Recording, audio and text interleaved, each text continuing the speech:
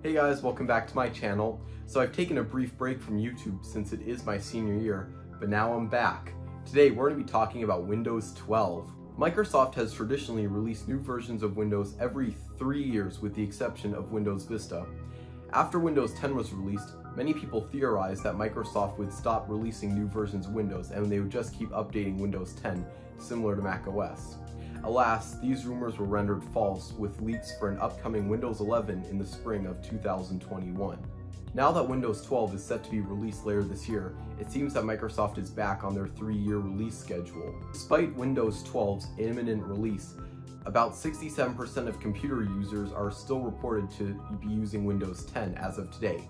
This is quite alarming as Windows 10 is less is almost a year and a half away from losing support. Now the logical solution to this dilemma would be to upgrade to Windows 11, but with Windows 12 just months away from release, this begs the question, is it better to upgrade to Windows 11 now or wait a few months and get the brand new version of Windows?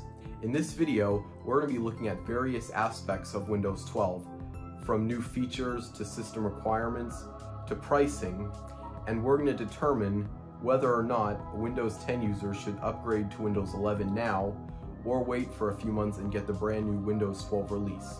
Now without further ado, let's get into the video.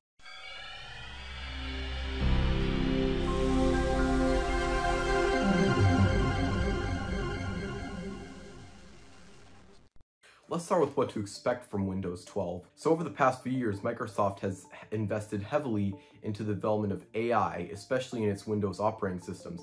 And so far, this has come to fruition with the added feature of Copilot in Windows 11. According to Zach Bowden, Microsoft is working on an advanced Copilot which, which is supposed to enhance the Windows 12 experience in many ways. For example, this advanced Copilot will be able to convert 2D images into 3D and it will be able to enhance the quality of videos and games. In addition, this AI will be able to keep tabs on the various activities you do on the computer and archive them into memories. This is quite reminiscent of the time machine feature on a Mac, albeit a, a more advanced form of it with the addition of AI. Overall, AI is expected to play a major role in the Windows 12 experience. The addition of AI as an integral part of the Windows 12 experience is quite ambitious on Microsoft's part, but how will it affect system requirements? When Windows 11 was released, a significant amount of Windows 10 users were not eligible to upgrade due to insufficient system specifications. Whilst this decision for Microsoft was quite alienating for such users, it may not have been the worst decision given the disastrous release of Windows Vista. With Windows 12 and its heavy amount of AI features, the system requirements will most certainly go up. According to Zach Bowden, there are rumors that Microsoft will increase the system requirements from 4 to 8 gigabytes. From his analysis, he predicts that many of these new AI features will be limited to more powerful and newer PCs. Whilst computers and technology are getting more and more advanced every year, many people and businesses still use old and outdated technology. This comes for many reasons, including a fear of losing data. Heck, the US military still uses Windows XP, with Windows 10 less than two years away from losing support and Windows 11's high system requirements, many Windows 10 users are left in a bad spot. Fear not. According to Mayank Parmar at Windows Latest, Microsoft is supposedly working on a lightweight version of Windows 12 that will be heavily web-based. This Windows 12 Lite, as I will call it, will be tailored to lightweight devices such as tablets and cheap laptops.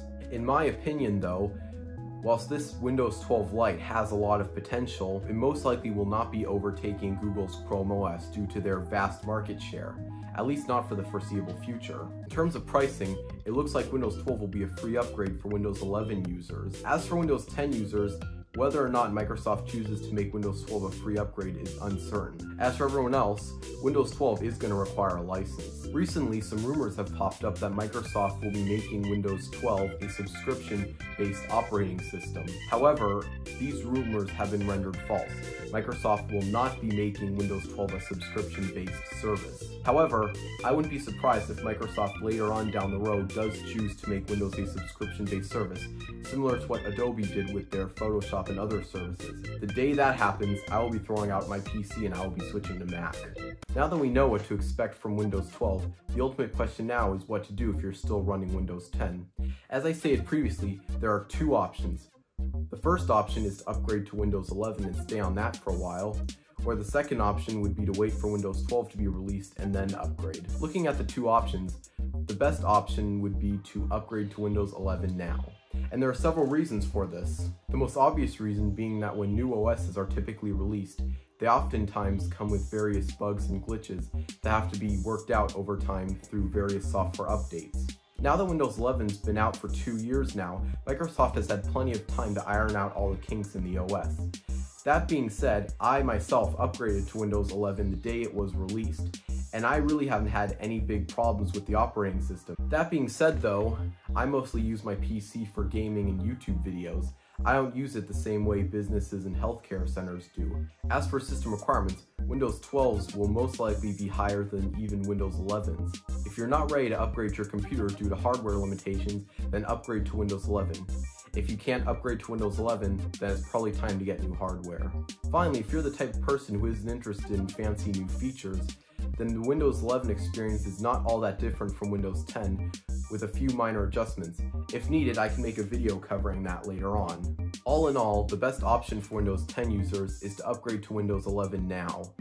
Whilst you could wait a few months for Windows 12, there is a lot of uncertainty in regards to whether or not you will actually be able to upgrade.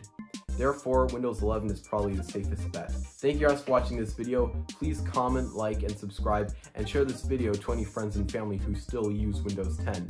Now that I've submitted all my college apps, I'll have a little bit more free time now to start making videos again. So expect a new video a few weeks from now. Bye!